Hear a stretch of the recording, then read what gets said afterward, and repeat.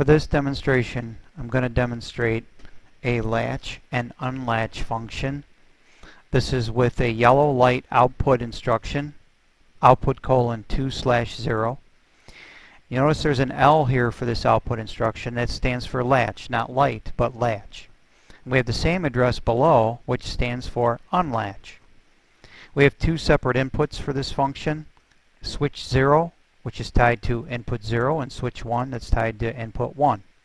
And I've made both of those push buttons normally open spring return uh, push buttons instead of toggle switches like this one here at input 2. So while the system's running, I'm continually scanning. These XICs are looking for a 1. Are you a 1? No, so it's false. Are you a 1? No, it's false.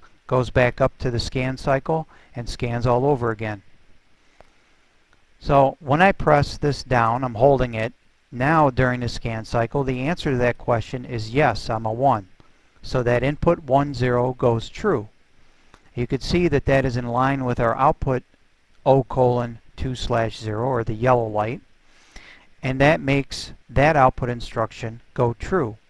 When I release this input that output stays true. You can see the yellow light stays true or on.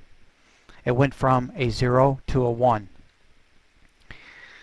The only way I can get that output instruction to turn off is to cause a true here and send a signal to the unlatch instruction for that same output address.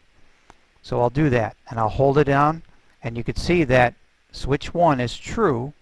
You can see by the highlighting yellow above switch 1 and that has deactivated or unlatched the yellow light output 0.